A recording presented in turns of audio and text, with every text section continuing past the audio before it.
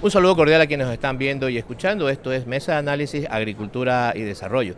El día de hoy una cobertura especial en el primer foro internacional sobre la comercialización de los productos agropecuarios. Estamos en compañía de Emilio Gallardo González, quien fuera en un momento determinado ministro de Agricultura. Bienvenido Emilio, gracias por eh, la oportunidad de poderte entrevistar y que nos puedas comentar un poco de las expectativas que tiene la Bolsa de Productos Agropecuarios respecto de organizar este tipo de eventos. muchísimas gracias John por la entrevista. Eh, yo creo que este tipo de eventos son fundamentales porque lo que buscan justamente, tal como dice el título del foro, es desafíos en la comercialización de los productos agropecuarios.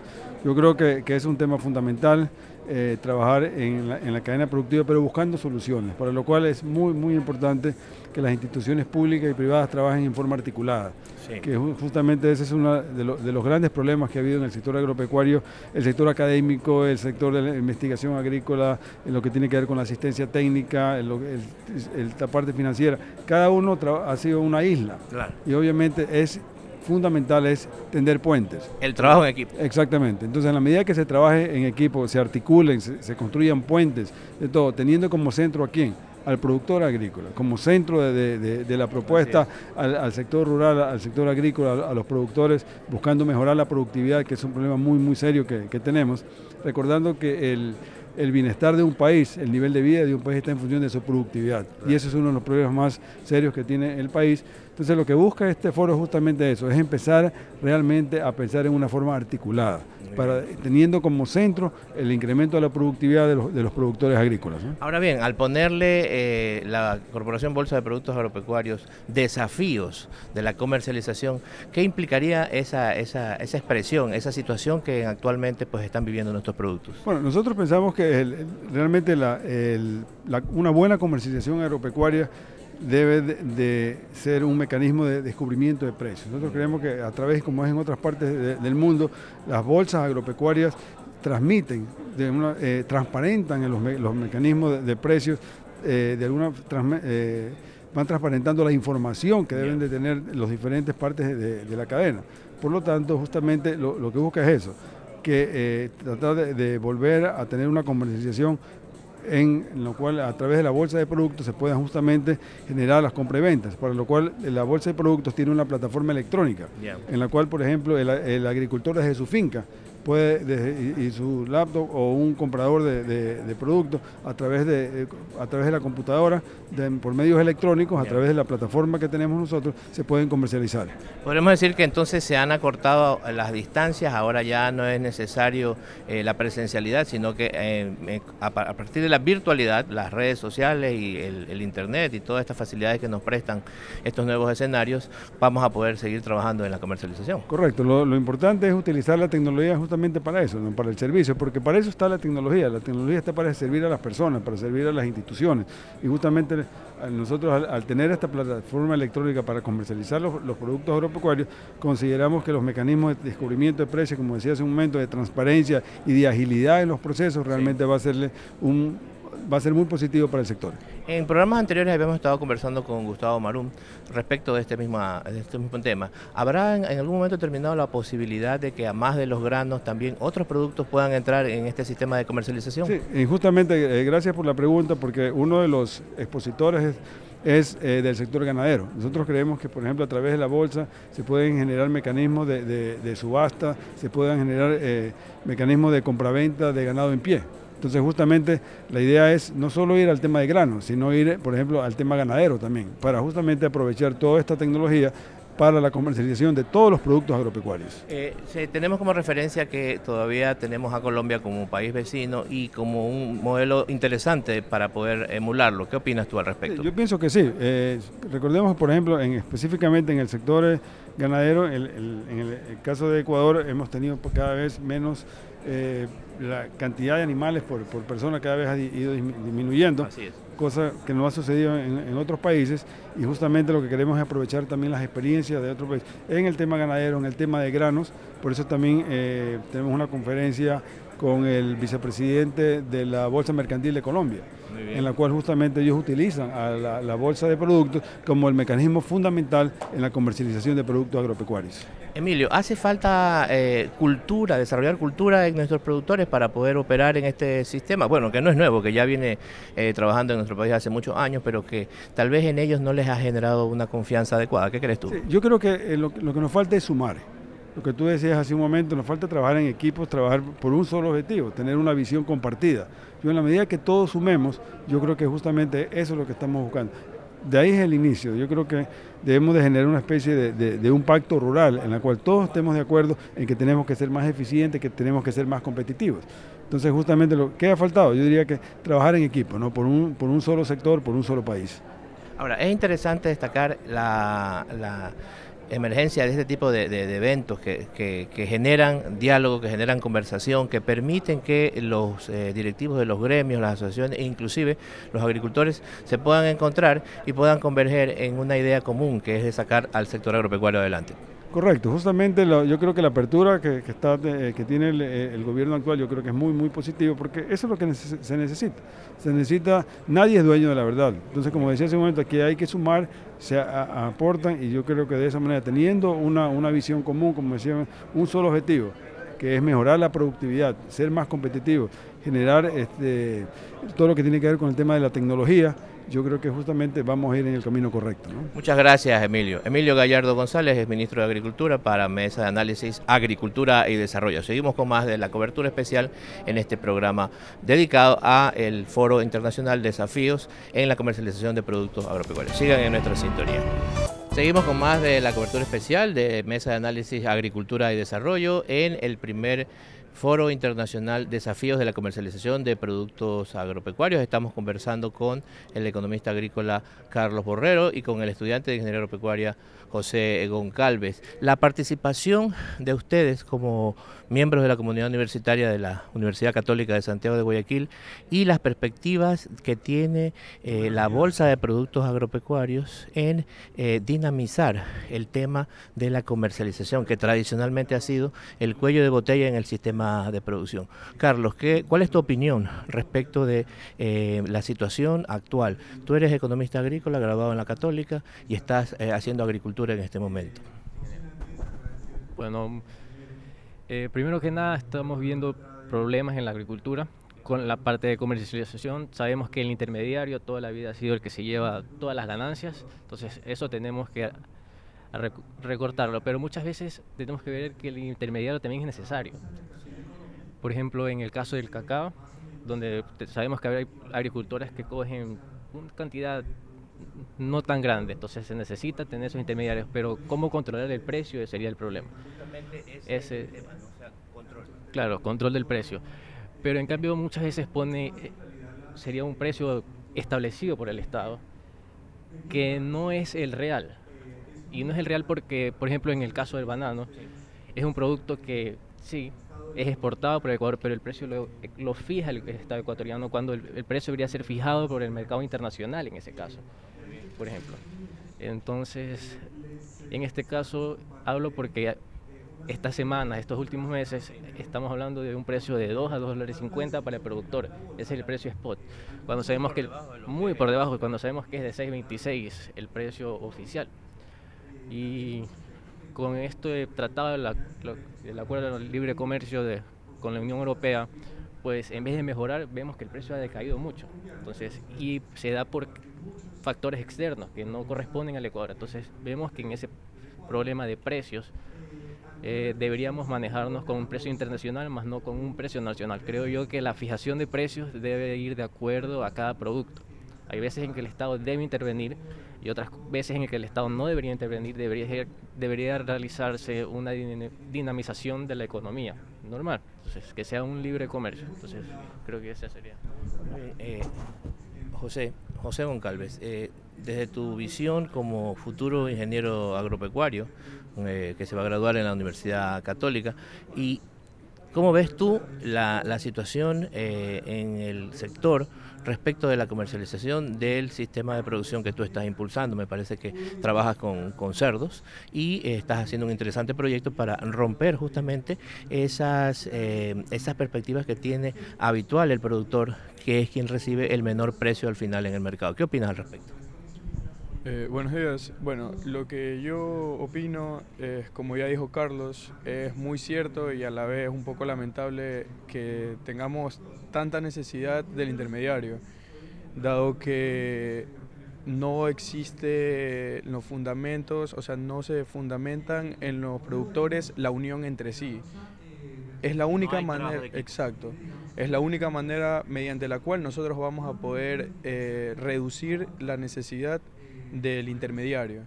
De esta manera, si nosotros logramos que los productores se unan, eh, van a poder adquirir ciertas, ciertos beneficios de manera más fácil, como por ejemplo el transporte del comercio, que el, transporte, disculpe, del producto, que es básicamente uno de los principales puntos por los cuales nosotros requerimos estos intermediarios.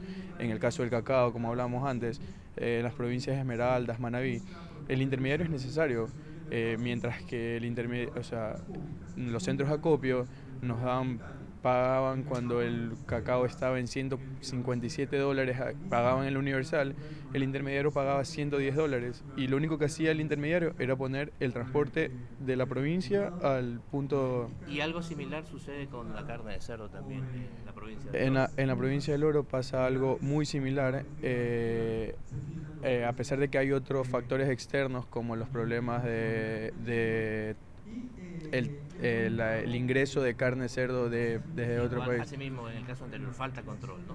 Claro, falta de control. Y yo creo que el principal, la principal manera que nosotros podamos solucionar este problema de costos, de precios, eh, a pesar, aparte de todo lo que, de lo que ya aportó Carlos, yo creo que la unión eh, entre los productores es la principal manera, que, la principal forma en la que nosotros vamos a poder mejorar eh, los precios. Y así yo creo que el productor obviamente va a tener mayor cantidad de ganancias, ya que lo que él produce, yo creo que solamente el productor tiene que ganar lo que él produce. No, no me parece que otras personas o terceros eh, se vean beneficiados de manera de manera mucho más exponencial que el mismo productor. Para Carlos Borrero, si tú tuvieras en este momento bajo tu control, por ejemplo, el Ministerio de Agricultura, Carlos Borrero, ministro de Agricultura, ¿cuáles serían las estrategias para mejorar la comercialización de los productos agropecuarios? Primero habría que reunirse con todos los eslabones de la cadena. Eso es muy importante, tienen que estar presentes todos y tendremos que comenzar a, ver quién es necesario y quién no es necesario en cada cadena, porque todas las cadenas son muy diferentes. Entonces, una vez identificado si es necesario un intermediario, se lo deja. Y si no, pues directamente desaparece. ¿Por qué lo digo? Por ejemplo, en el caso del maíz, hay muchas piladoras, receptores, pero tenemos a la UNA, que está invitada justamente en este foro, pero la UNA no tiene la capacidad de almacenamiento ni siquiera para un mes, creo, si mal no recuerdo la cifra en este momento, del consumo del Ecuador. Entonces, si no tenemos la capacidad, ni siquiera como Estado, tendríamos que hacer una inversión en esa parte. Otra parte es la investigación. Entonces, si visitamos en línea, tiene muchas instalaciones, están comprando equipos nuevos, pero la investigación prácticamente es nula comparado con otros países. La inversión que estamos haciendo en investigación para mejorar la producción de diferentes productos agropecuarios es nula. Entonces, en eso también nos está afectando. Ahora tendríamos que trabajar en esa parte para tener mejores semillas, porque la, la productividad de, por ejemplo, el arroz, el maíz, aquí en el país pues comparado con otros precios de producción como Perú, podría yo decir, ¿sabes qué? No sembremos maíz, no sembremos arroz y preferiblemente importar. Entonces tendríamos que trabajar en esa parte. Y para José Moncalpe, rápidamente, si fueras ministro de Agricultura, ¿de qué forma acompañarías a la producción para incrementar producción y productividad en nuestro sector agropecuario? Eh, con, aportes académicos al productor. Nosotros tenemos que capacitar al productor promedio, al pequeño y al medio, enfocarnos básicamente en ellos. es la manera que nosotros vamos a mejorar nuestra productividad y nuestra producción. De esta manera nosotros vamos a ser no solamente eficientes, sino que vamos a también ser eficaces. Muy bien, muy bien. Bueno, agradecemos la participación de los miembros de nuestra comunidad universitaria, el economista agrícola Carlos Borrero y el estudiante de Ingeniería Agropecuaria José Goncalves. Seguimos con más de esta cobertura especial en el primer foro internacional Desafíos de la comercialización de productos agropecuarios. Sigan en nuestra sintonía. Ya en la parte final de nuestra cobertura especial al primer foro internacional Desafíos de la comercialización de productos agropecuarios realizado aquí en la ciudad de Guayaquil. Es importante destacar el hecho de que hay determinados actores, determinados gestores que hacen que las cosas sucedan. Justamente uno de ellos es Nicolás Gómez del periódico digital elproductor.com. Nicolás, gracias por la invitación y la oportunidad que nos dieron de poder hacer la cobertura. Eh, decíamos, es necesario el trabajo en equipo para que eh, se dinamice eh, nuestras cadenas productivas justamente en este foro. Muy interesante, hemos estado conversando con varias personas y, y precisamente ese es el punto de convergencia, la eh, posibilidad de que podamos trabajar asociados, de que podamos trabajar integrados. ¿Cuál es tu eh, perspectiva, tu visión como el CEO de eh, elproductor.com, periódico digital? John, muchas gracias por la invitación. Contento de que la Católica, a través de su programa agropecuario, estén aquí presentes. Creo que ustedes son las personas que están ayudando para que las nuevas semillas se enrumben en el camino correcto y justamente hacia una agricultura responsable y una agricultura cohesionada para que podamos tener una mayor unión justamente de lo que tú mencionas.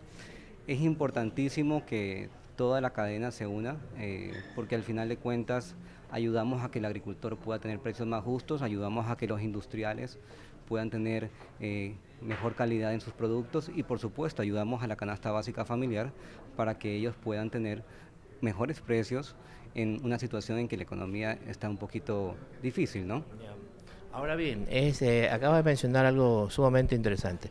Eh, definitivamente, si leemos la historia económica del Ecuador, vamos a ver que casi que todo el tiempo hemos estado en periodos de crisis. Y las crisis son buenas porque las crisis sacan lo mejor que llevamos dentro. Desde la visión de elproductor.com, que ha sido el engranaje, el gestor, el que ha estado tras bastidores haciendo que las cosas sucedan e integrando a todos los eslabones de la cadena. ¿Cómo ha sido tu experiencia eh, en el desarrollo de esta primera actividad que ha quedado tremendamente destacable y, es importante que el público asistente ha estado muy eh, contento de participar? Bueno, lo que tú mencionas es muy importante. De hecho, según las estadísticas, eh, Ecuador es uno de los países con mayor emprendimiento en Sudamérica. Y ahí es donde realmente logramos sacar la casta de los verdaderos empresarios o microempresarios. Justamente en estos problemas de crisis salen las mejores oportunidades. Eh, lo que tú dices es muy importante. Eh, ha sido un reto realmente poder reunir a, toda, a todos los sectores, eh, porque uno normalmente en comercialización de productos pensaría que es solo arroz o maíz, que son los productos que normalmente encontramos en los hilos, ¿no? Pero hemos encontrado que este no es un interés solamente de cultivo de ciclo corto, sino también que es una necesidad muy palpable en café, en, maíz, en banano, en, frutales. Tenemos eh, han llegado aquí productores de diferentes sectores y esto es una necesidad que es muy palpable para las autoridades de gobierno que nos acompañaron, estuvo los viceministros, subsecretarios de comercialización y demás entidades que justamente demostramos que si estamos todos unidos vamos a lograr grandes cosas. No nos vayamos muy lejos, veamos el caso de Colombia con el tema de café, cómo están de organizados, cómo lograron una marca país. Si logramos hacer algo similar en el Ecuador, vamos a llegar muy lejos. Recordemos que somos un país netamente eh, agropecuario y lo que he mencionado en algunas entrevistas, si nosotros no hemos llegado a situaciones tan críticas como la de Venezuela, por ejemplo, es porque tenemos una agricultura fuerte, no unida como quisiéramos, pero sí bastante fuerte, y con bastante diversidad de cultivos que nos ha permitido que nuestras canastas básicas, la canasta familiar, los alimentos no nos quedemos desabastecidos, como ha pasado sí en otros países. Ahora bien, eh, mencionas que el trabajo en equipo, el, diálogo eh, de saberes, inclusive entre todos los gremios, todas las asociaciones de productores, es muy necesario y sobre todo muy importante. Y también el apoyo de eh, los entes de gobierno, no solo a nivel de ministerios, sino también de gobiernos autónomos descentralizados, que son ahora los que en el territorio coordinan los temas de desarrollo y la agricultura obviamente pues también está allí inmersa. Eh, ¿Cuáles serían de aquí en adelante las estrategias que deberíamos eh, ya, eh, una vez dialogado aquí en espacios como este, el sector productivo, el, ente regulador, los entes que hacen investigación, la academia como tal, y todos los productores en términos generales, y también las instituciones asociadas, como por ejemplo el productor.com, para no desmayar en el esfuerzo y que sea, reitero, algo sostenido, algo que perdure a través del tiempo. Eh, ¿Cuál sería tu criterio al respecto? Bueno, en ese punto es muy importante. Eh, quiero destacar que en este evento la Bolsa de Productos eh, logró reunir a varias entidades de gobierno porque ellos son justamente al final los entes rectores, como usted bien lo indica. hemos tenido, gracias a Dios, a la UNA, sabemos que la Unidad Nacional de Almacenamiento, tenemos también al Ministerio de Agricultura a través del su viceministro, em, el subsecretario de Comercialización, que es justamente la, pieza fundamental, eh, la gente del INIAP, porque es importante ser coherentes en las cosas que decimos. Hablamos de mejor comercialización, hablamos de muchos ámbitos, pero todo tiene una base. Si no, por ejemplo, no tenemos buenas semillas, con unos buenos resultados, con unos buenos rendimientos, difícilmente vamos a poder cumplir con el industrial en los, eh, ámbitos de calidad que se requieren. Y esta es una cadena que vamos, vamos este, incurriendo en problemas. Yo pienso que en este evento se ha dejado la semillita muy clara del interés sobre el tema de la comercialización, que es fundamental que se transparentice y que de esta manera eh, podamos lograr que toda la, cadena empiece a trabajar correctamente. De aquí deben, así como se están generando ya mesas de diálogo a nivel del gobierno, eh, también a nivel privado se deberían generar lo mismo y esperamos que más eventos como estos se sigan repitiendo. Muy bien, pues gracias Nicolás. Eh, tú sabes que el tiempo en televisión pues es muy, es muy corto, muy breve. Un minuto para un mensaje a la nación y bueno, ya a nivel internacional, porque este programa también pues se sube a las redes y ya de ahí ya lo puede ver eh, prácticamente, literalmente todo el mundo. Un mensaje final.